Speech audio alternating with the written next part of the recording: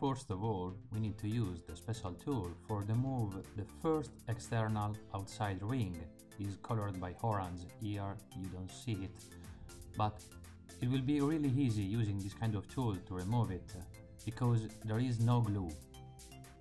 After remove the external outside tool, you can start to remove the internal black ring. In this way, as you can see, is really fast. Now remove the memory card, remove the battery,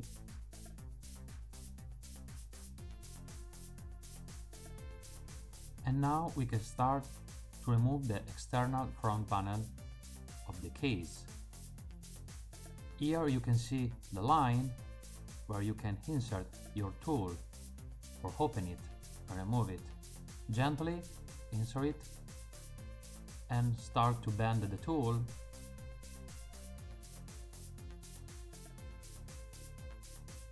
and it's done. This is the power on off button and this is the adhesive for the warranty. Please be careful to those wires because it will be really easy to broken them and is for this way, for this reason that uh, I suggest to you to take a broken USB cable with the small wires for replace them. Trust me, you will broken it. Now we need to use the small screwdriver to remove all those screws. If you have some problem with the small screws, use a magnetized screwdriver or place a magnet on your screwdriver.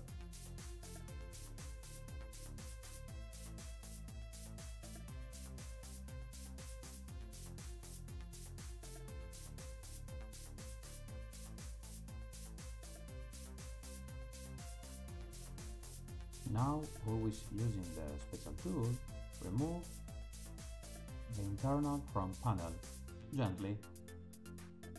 Well, now that we open it, here we have always those damn cables that trust me, you will broken it.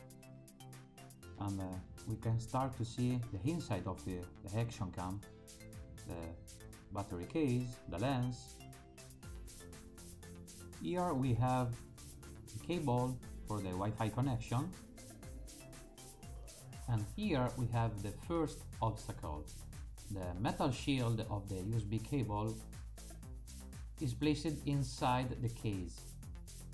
So if you want to remove the motherboard for the case, we need to open gently the plastic of the case for be able to remove, to extract all the motherboard from the inside. So keep always on your mind this cable and uh, using your special tool start with a small bending on the motherboard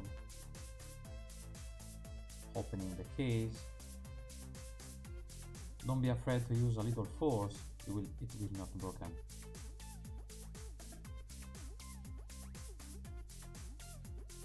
if you fail start to extract the other side of the motherboard.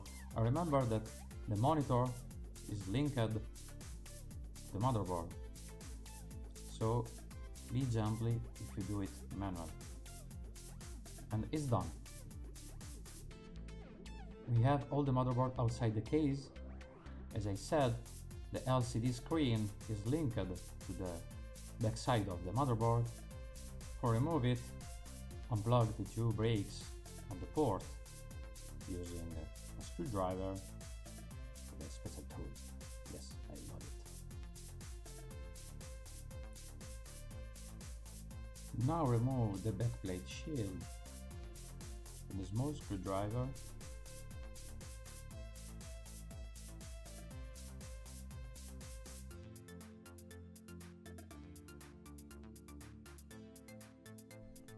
Here we have two small plastic guides.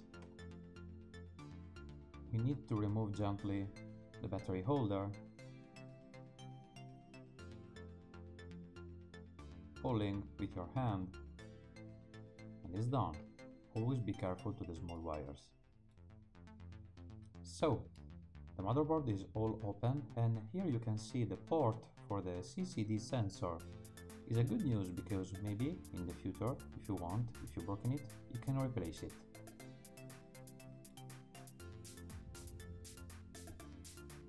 My action cam was being just hacked, but here you will find the glue that block the lens.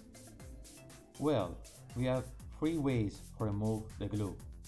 The first way could be the diamond tip with the mini drill.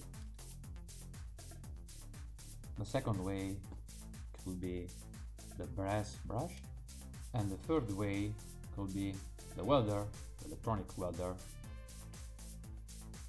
With the welder you can heat up the glue the base of the lens but be careful to the holder of the lens because it's made, it's made of plastic so gently hit the glue and remove it and then you can also use the brass or the diamond bit.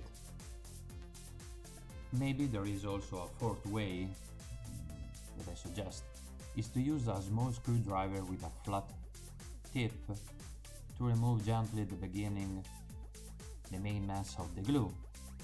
And then after you can use the brush or the welder. When you will see that the glue is few, try to turn gently the lens and uh, after a few force you will see that the lens it will be unblocked. And it's done. The lens is away and here you can see the main sensor of your action cam